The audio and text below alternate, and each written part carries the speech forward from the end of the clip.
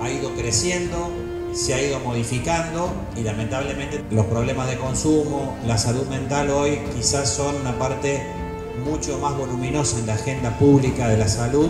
Realmente la puesta en función de esta red y del protocolo de trabajo de problemática de consumo y salud mental va a ser un gran desafío y nosotros queremos que eh, en cada organización, en cada lugar del territorio de la ciudad donde nuestra política pública tenga los mismos alcances interpretando las distintas realidades que tiene cada lugar. Porque los problemas son diferentes, porque cada persona es individual y porque a veces eh, requieren una mirada que tiene que ver con el diagnóstico del territorio que hace quien conoce el territorio, quien lo milita y quien acompaña.